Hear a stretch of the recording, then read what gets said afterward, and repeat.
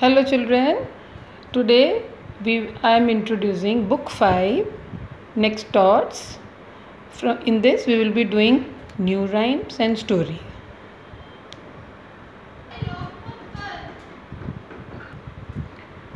See there are two stories. Omni the ostrich, monkey and the cats. And there are two rhymes. Wonderful vegetables. Moo says the cow.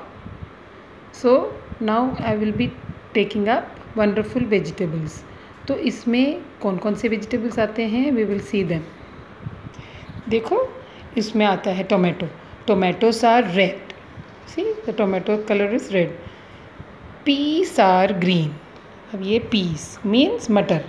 Piece are green फिर आता है brinjal has a crown देखिए, ये जो green colour का होता है ना, उसके ऊपर उसको वो क्राउन जैसा होता है।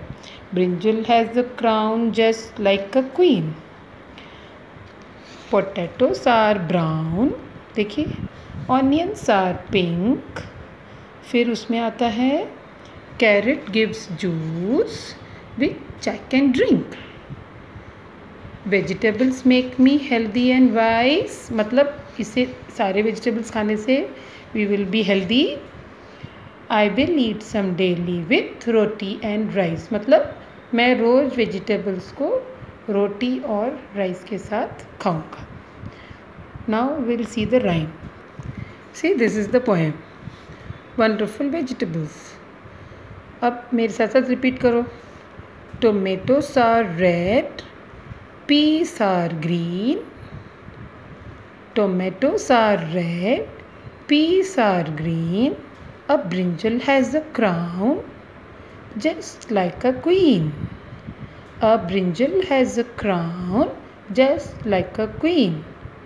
Potatoes are brown, onions are pink. Carrots have juice which I can drink. Carrots have juice which I can drink. Vegetables make me healthy and wise. I will eat them daily मतलब मैं रोज़ खाऊँगा। With roti and rice ये देखिए बच्चा क्या खा रहा है? He is eating healthy food see he is eating rice is there is vegetables and these are the vegetables see tomato onion pea brinjal all the vegetables are there in the basket अब फिर से करते हैं, चलिए। Tomatoes are red peas are green A brinjal has a crown just like a queen. Potatoes are brown, onions are pink, carrots have juice which I can drink. Vegetables make me healthy and wise. I will eat them daily with roti and rice. Right students, try to learn this poem. Now we will do the story. See the name of the story is Omni the ostrich अब देखिए, ये भी name O से start हो रहा है ओ और इस बुक में हम वॉबल ओ करेंगे तो sound is O Omni the ostrich see this characters are Omni ये ऑस्ट्रिच है बर्ड ओके इसका नाम है Omni Oslo this is the ox इसका नाम है ऑलिव ऑलिव ये एनिमल का नाम है दिस इज़ ऑटर ये ऑक्स है, ये ऑटर है और ये ऑस्ट्रिच है, सारे ओ से स्टार्ट होते हैं। ऑस्ट्रिच बर्ड है it's a tall bird which can not fly okay ये देखने में काउ की तरह दिखता है okay and this is ox this is otter story देखिए Omni the ostrich lived in a town called Oscar अब देखो, ये भी ओ से है। ओमनी ऑस्ट्रिच कहाँ रहता था? ऑस्कर टाउन में रहता था। ही हैड अ शॉप उसके पास एक शॉप था, दुकान। Omni sold sweet and sour oranges मतलब ओमनी क्या बेचता था? खट्टे मीठे संतरे एंड आइस कोल्ड पप्सिकल्स मतलब कैंडीज देखिए this is sweet and sour oranges this is the popsicle जैसे आइस कैंडी होता है ना हमारे, वैसे इसको हम, इसको कहते हैं popsicles see this is Omni this is the ostrich and this is the shop and omni sells sweet and sour oranges and ice cold popsicles. और ये है ऑक्स ये है otter okay they both have come to the shop तो अभी देखें आगे क्या स्टोरी है.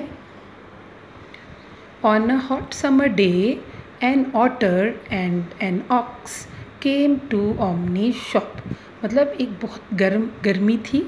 गर, उस दिन बहुत गर्मी थी उस दिन। ऑटर एंड ऑक्स ये ऑक्स और ऑटर ओमनी की शॉप पे आए। The otter's name was Olive इसका नाम है ऑलिव इसका नाम है Oslo the ox was called Oslo Olive and Oslo were very hungry hungry means बताइए, ये दोनों बहुत, इनको बहुत भूख लग रही थी। They were feeling very hungry and did not have money देखिए, इनके पास पैसे नहीं हैं। They could not they didn't have money they were very sad अब ये सोचने लग गए कि हम कैसे लेंगे इसकी शॉप से? हमारे इनके पास कोई पैसे नहीं हैं। तो they are very sad see, Oslo is sad, Olive is sad. now let's see next page see omni is very nice omni gave them oranges and popsicles means omni ने कहा, कोई बात नहीं, मैं दे देती हूँ। मैं दे देता हूँ, सॉरी। तो ये ओमनी क्या करता है? ऑरेंजेस, ऑस्लो को और ऑलिव को दे देता है। देखिए। ऑलिव को पॉप्सिकल और इसको oranges they were happy and ate quickly जल्दी जल्दी खा लिया। Olive and Oslo thank Omni मतलब दोनों ने इसको इन थैंक्स कहा। And said he was very kind see Oslo is so happy and Olive is also so happy to have the popsicle अब देखिए next page since then Omni Olive and Oslo became good friends Oslo Omni and Olive तीनों friends बन गए they became good friends see this is the story कितना easy story है okay next in the next video I will take a question answers ठीक है, अब इसको हम एक बार ऑनलाइन क्लास में भी करेंगे। Let's go to the new poem अब ये देखिए this is Momu says the cow ये इस पोएम का नाम है मोमू सेज द काउ अब यहाँ देखिए मंकी मंकी कहाँ पे है?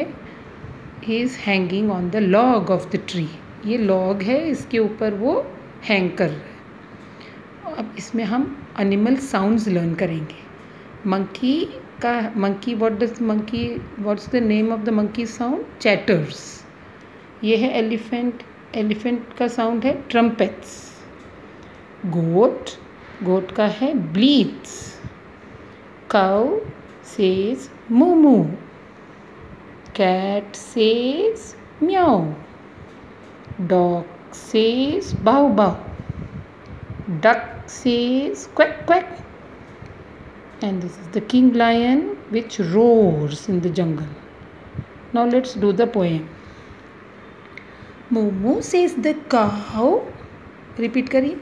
Moo moo is the cow bow says the dog. Meow meow says the cat. And monkeys chatter on the log. मतलब मंकी चैटर करता है।